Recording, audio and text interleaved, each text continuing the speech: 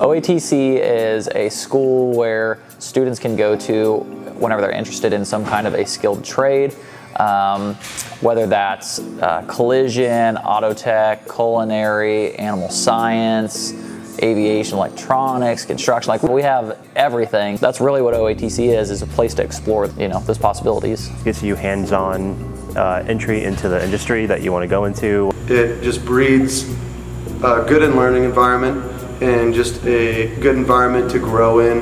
A lot of people who come in here aren't always the most confident people, but then their second year in, they're very sure of themselves and comfortable whenever they get to their sophomore year, that's whenever they start making that decision of do I want to go to OATC? We always have everybody come through the school and do like just like a tour and an orientation meeting. That way everybody can make sure that it's a good fit. All these OATC programs are a two-year uh, program. You have first years and second years. First years, they focus more on the basic and second years focus more on the higher stuff. Uh, half of the day you do your normal home homeschool, high school, and the other half of the day you come to OATC. I really love the industry, but I come in here and I'm making an impact on young lives and I'm helping students be able to achieve the same things and hopefully even better than what I was able to achieve when I was in my industry.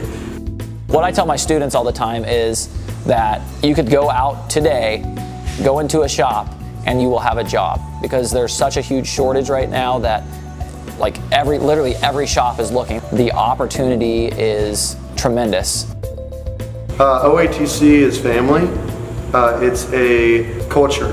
It's a big family. I mean, everybody gets along. You know, all these students are from different high, home high schools. They're not all just from the same high school as mine or his. It's a fun time. You know, we have we have sometimes we go out and play volleyball. We have cookouts. You know, we just do fun things. So uh, it's a really good experience, I'd say. Take people that aren't usually like together, would not never meet in like their home high school, and then become a family.